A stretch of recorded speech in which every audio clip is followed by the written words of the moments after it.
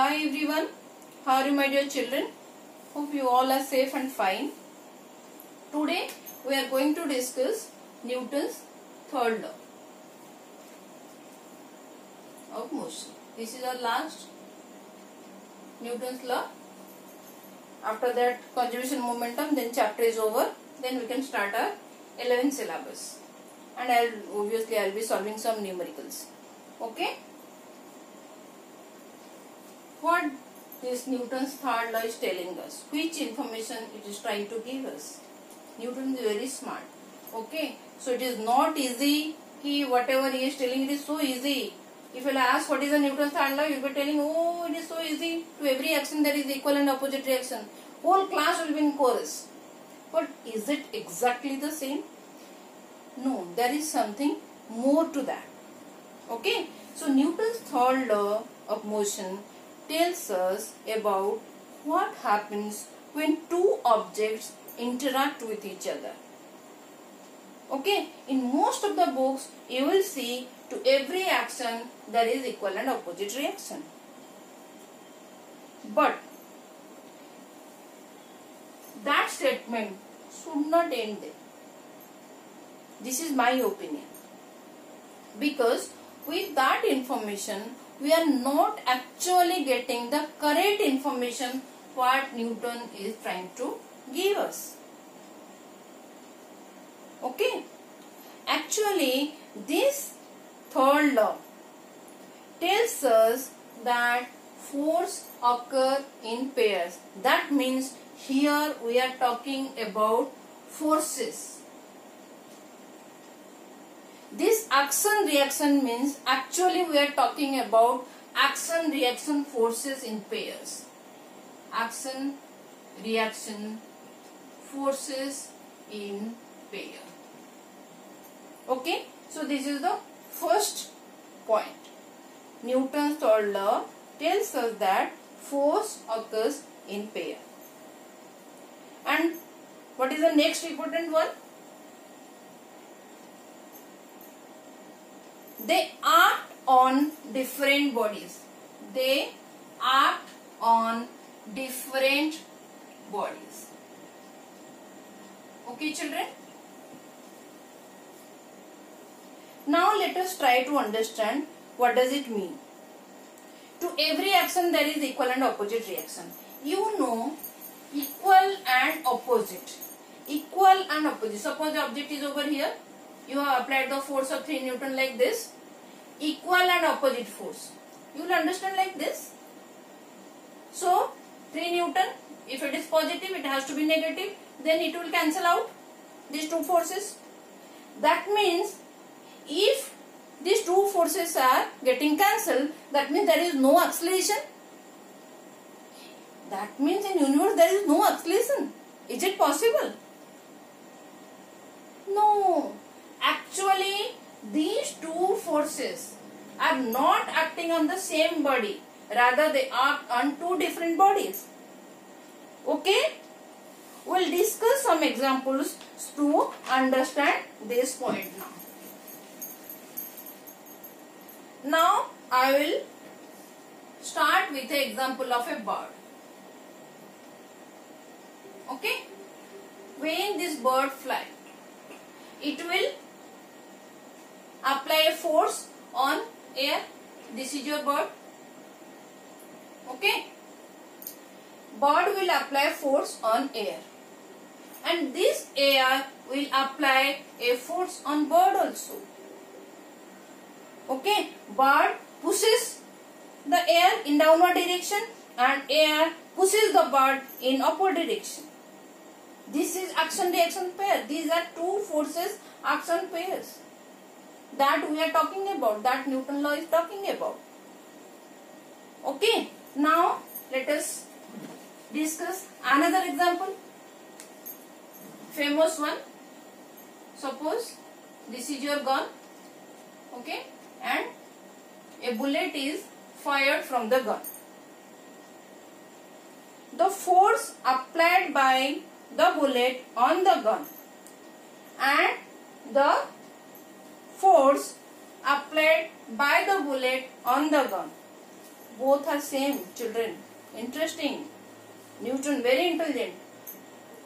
See it is uh, very difficult to digest also. These two gun and uh, this bullet they will apply forces on each other. And these two forces are equal. So here it is the this is the force applied on bullet by the gun. And in this way bullet will also apply the force on the gun. And these two forces are equal. These two forces are equal but opposite in direction. That means FBG is equal to minus of FGB so uh, what does it mean? When bullet is fired like this bullet is moving with high velocity in this direction your gun will also move in backward direction. Okay? Now forces are same. Both the forces are same. Then this gun should move with the same velocity or we can say the, the same acceleration like the bullet. Is it so? Moving back of the gun in this direction is also called recoil of gun. Okay children. Is it so both will experience the same acceleration?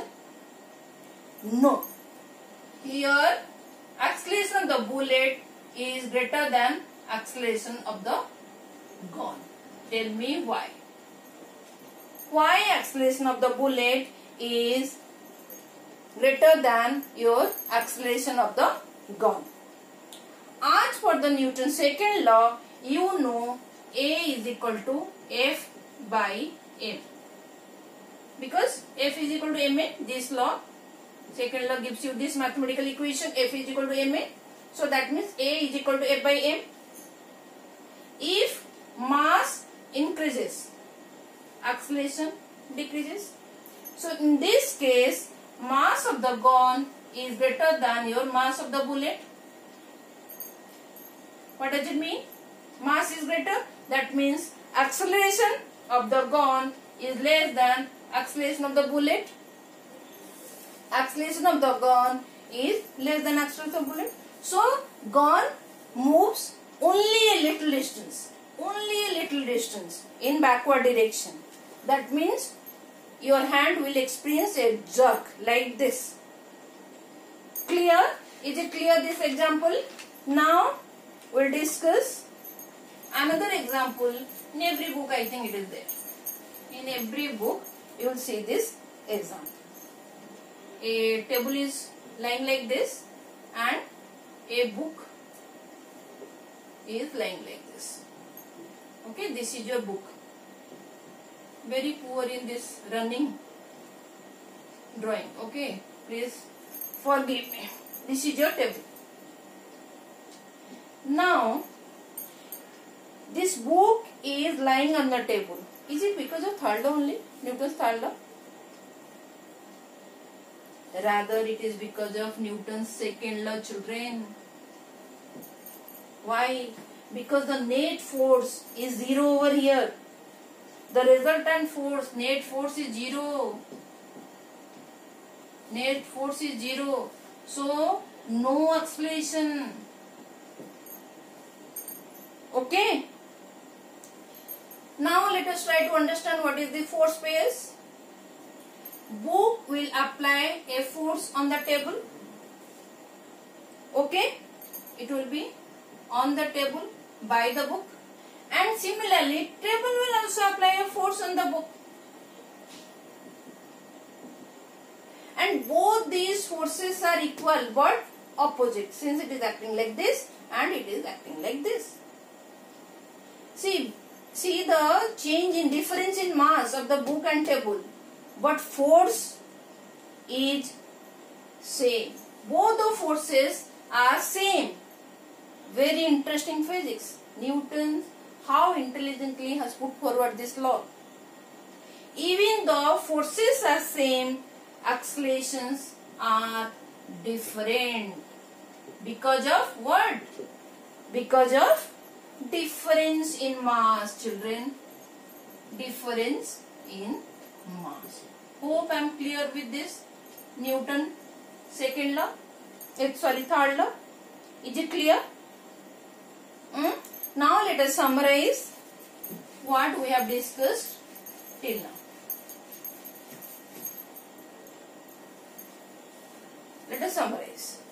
Forces always occurs in pairs. This is the first point. Forces always occur in pairs. Okay? And these forces are of same nature. These force pairs act on two different bodies. Is it clear children? How two different bodies? Bullet is applying force on gun and gun is also applying force on bullet. So two different bodies. Third point. These two forces are equal in magnitude. These two forces are equal in magnitude irrespective of difference in mass of two bodies. Irrespective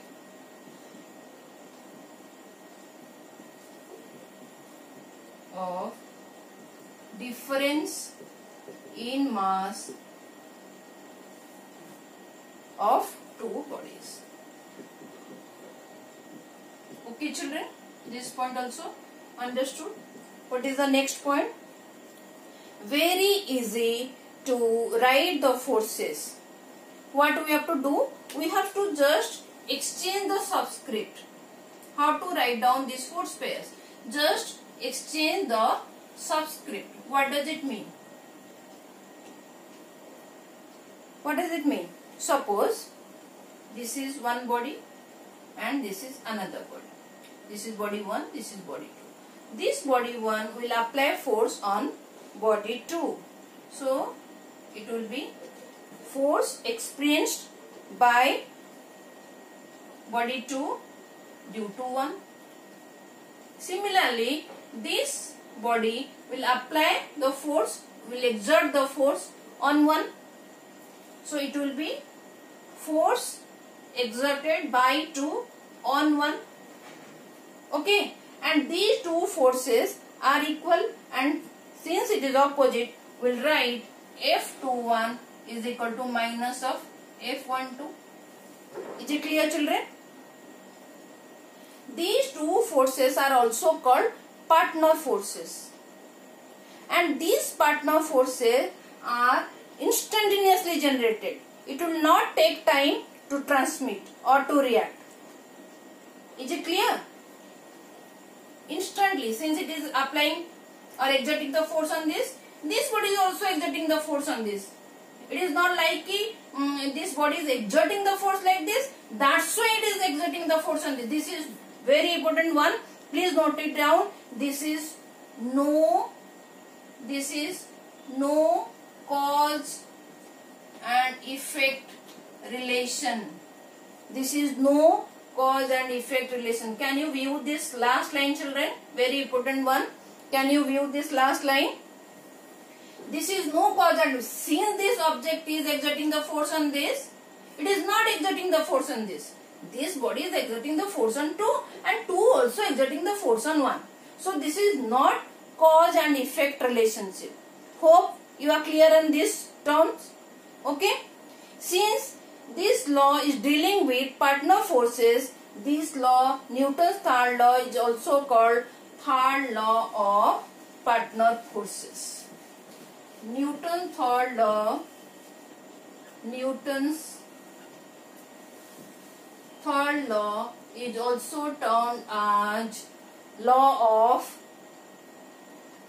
partner forces. Clear children? Is it clear now? Okay. Now just another example I will discuss to understand this force pairs. Suppose you are here standing over here. You are holding rope. Here also rope. Here one vehicle is there and a person is driving like this in this direction and here one elephant is holding the rope like this. You are standing over here. Okay. Now can you tell me all the force pairs acting on over here? I'll try to discuss some. See the elephant is standing. Okay. So this ground elephant is applying force on the ground and the ground is also applying the force on the elephant. So this is one force pair. Okay. Now this rope is pulling the man this pulling this man like this in this direction and man is also pulling this rope like this with this hand. Same way with this hand this man is pulling the rope like this and rope is also pulling the man like this. Here this person is pulling the rope like this and this rope is also pulling the man like this. Is it clear? These are the force pairs. Okay. So this is all about Newton's third law. If forces are same but accelerations are different. That's why you will see suppose another example let me give you suppose a man is running like this so man is applying force the ground like this and ground also apply the force like this. So if it is a positive it will be negative. And these two forces these two forces are equal. Magnitude is equal. But you will be telling um, since man is moving like this earth also should move. This no why? Because it, this earth it will have okay? earth is having very large mass in comparison to this man okay that's how you can visualize this movement but man is also applying the force and ground is also applying the force on the man. and these two forces are equal another example to visualize this suppose a boat is over here and this famous example is everywhere in all the books. So when a man is jumping from the boat to the shore, man is moving like this and man this board will move like this. So that means board is also applying force. Man is applying the force, exerting the force on the board and board is also exerting the force on the man. But seeing the differences in mass is not that much, you can visualize the movement of the board also. Boat is moving little backward when man is jumping of the boat to the shore. Is it clear? When man is jumping off the boat on the shore, man is moving like this and boat is moving like this. This is two type of forces but in opposite direction and you can easily see two different bodies. These two forces act on two different bodies. I think it is done with Newton's third law. If any doubt, please leave a comment in comment section box so that I can address your doubts. Okay children? Take care children. Thank you for watching.